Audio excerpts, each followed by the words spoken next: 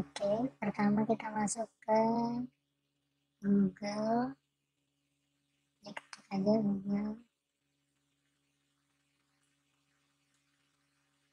Setelah itu kita login dengan akun guru ini.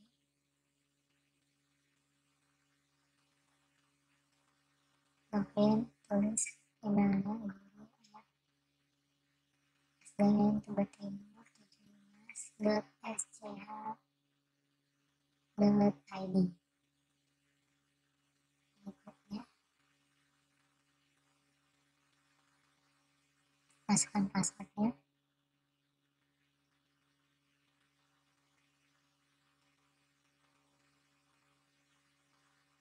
Oke itu buka gmail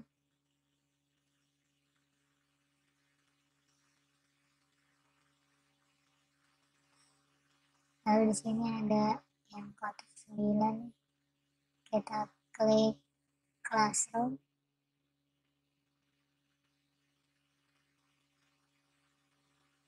Untuk menggunakan Google Classroom kita klik classroom.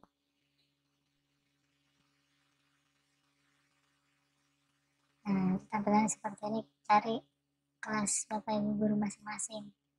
Misalkan 5D yang MPD itu ada forum ada tugas kelas ada anggota ada nilai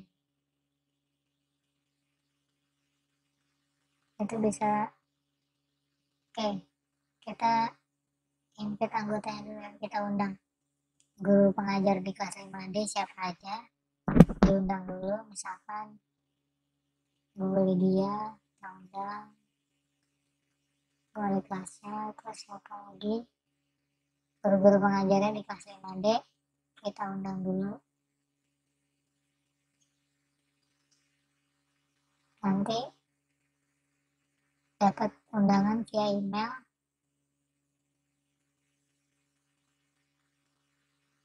Lalu anak-anaknya juga kita undang supaya semuanya masuk ke kelas 5D ini seperti real aja gitu di kayak biasa di sekolah anak-anak datang masuk. Ini masuk kelasnya tuh di sini melalui virtual online. Invite langsung semua juga bisa diketik satu atau kita kasih kode yang begini. Tuh undang siswa menggunakan kode. Dan anak tinggal buka Google Google Classroom terus gabung kelas masukin kodenya nih. Di sini kita bisa kasih informasi pokoknya di forum itu buat kita diskusi sama anak-anak kita bisa kasih informasi nanti ada komentar mengenai di situ bisa buat kelas berapa atau siapa aja mau kita kasih arahan bisa. Contoh di sini saya mau kasih info buat besok. Hari Senin misalkan. PJK tentang apa tentang penyakit menular gitu. Terus bisa ditambahkan deskripsinya.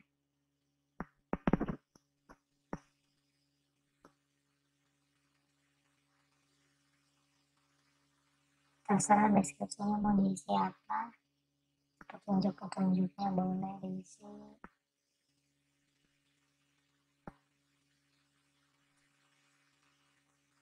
sesuai dengan pelajarannya masing-masing.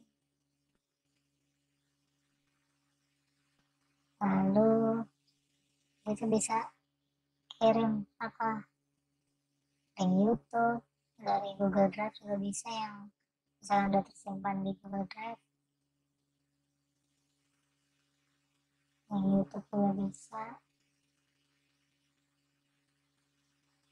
Ini saya nyari dari Google Drive drive yang udah pernah saya upload di Google Drive. Saya masukin lagi kemarin saya udah di kelas 5A saya tinggal ambil dari situ. Dan saya taruh ke 5D jadi nggak perlu bikin ulang yang udah ada materinya kalau sama ya tinggal masukin aja. Udah tinggal posting. Nanti anak-anak bisa baca semua kalau udah pada join apa tugasnya apa instruksinya? Ini tugas kelas tugas kelas bisa dibuat kuis bisa tugas rumah bisa materi.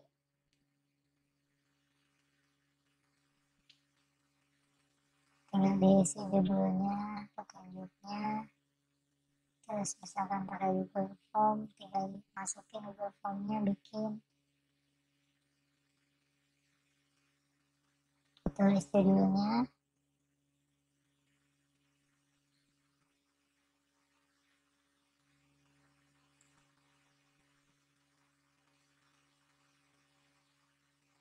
tunjuknya apa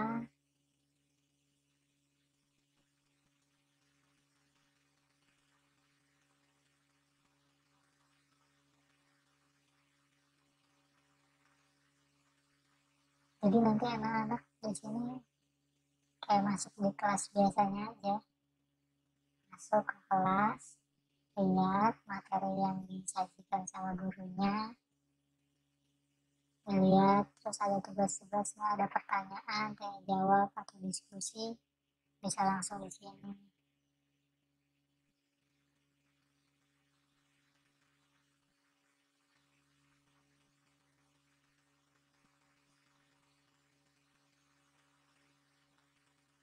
kalau ada data yang mau diupload materi-materi yang mau diupload dari komputer atau handphone bisa langsung diupload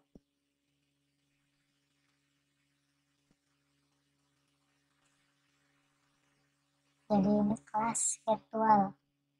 Kelas online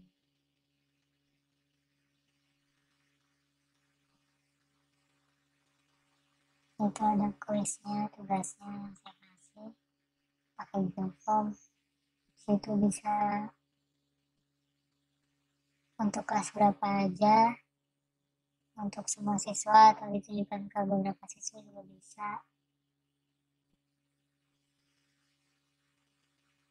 Terus nilainya mau berapa?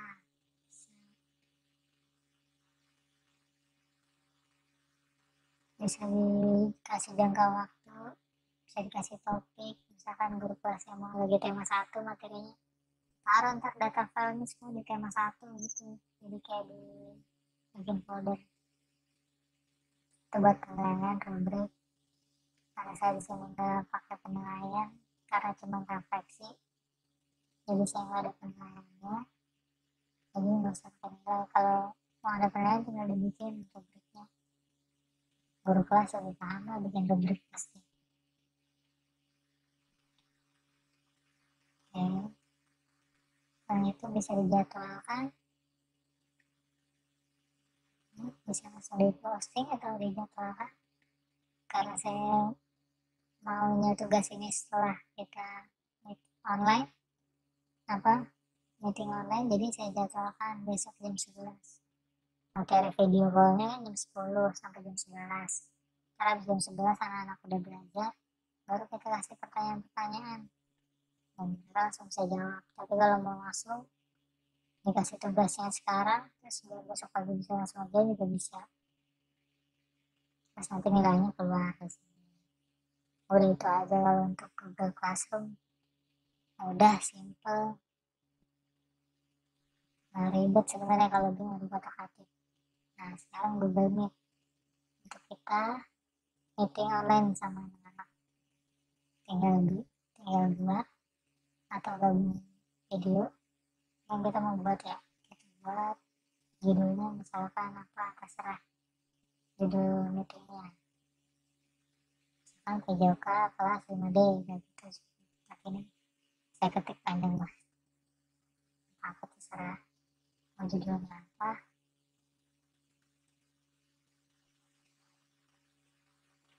Kalau udah tinggal langsung deh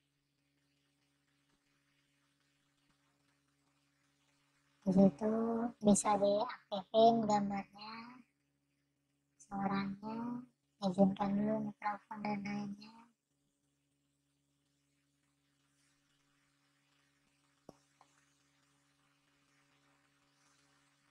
Oh, nongol mukanya kalau mau dinonaktifin bisa. Terus tinggal lanjut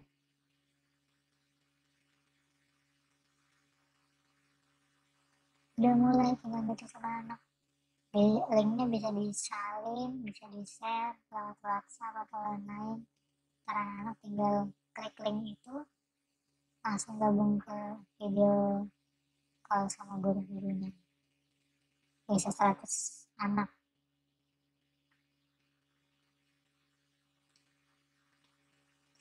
Itu buat intinya nanti pesertanya bisa gitu banyak terus itu kolom chat untuk kita rules atau apa, apa gitu bisa chatting juga. Kita bisa rekam di sini. Jadi misalkan ada yang nggak bisa teknologi bisa direkam di sini untuk letaknya. Jadi foto anak-anak kita bisa kelihatan langsung banyak. Ya. Jadi anak-anak yang nggak sempat join bisa pakai rekaman belajarnya udah setelah itu presentasi. Mau semua layar atau jendela apa sebagian jendela? Kalau semua layar yang kayak sekarang saya ini semua layar yang ada di laptop saya semua bisa baca bisa dilihat sama siswa. Kalau mau jendela harus dibuka dulu mana yang mau dipresentasikan. Misalkan PPT. PPT yang mana? Dibuka dulu biar lebih cepat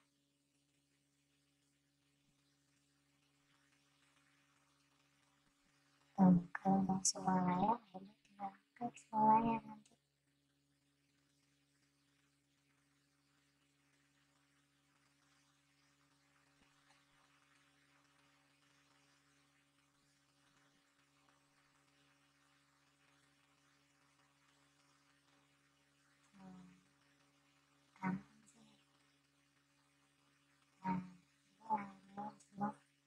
kelihatan semua layar lagi kita kelihatan yang kita presentasikan semuanya dan kita buka file yang mau kita presentasikan di mana misalkan nih saya cari kelas 5 PJJ PJK saya pakai powerpoint untuk presentasi ke anak-anak setelah kebuka udah dulu tinggal presentasi. Kayak mengajar di kelas aja. Pengganti papan tulisnya pakai powerpoint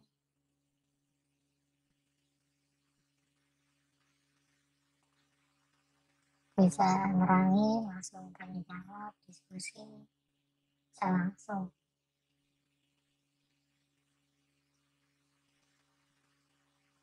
Powerpoint. Kalau pakai powerpoint guru harus nyiapin dulu powerpoint tapi kalau cuma mau meeting bicara secara langsung gitu juga boleh. Tidak masalah. Atau di rumah ada papan tulis gurunya sambil di papan tulis di rumah juga apa-apa itu aja cukup. Kalau udah bisa di stop sharing.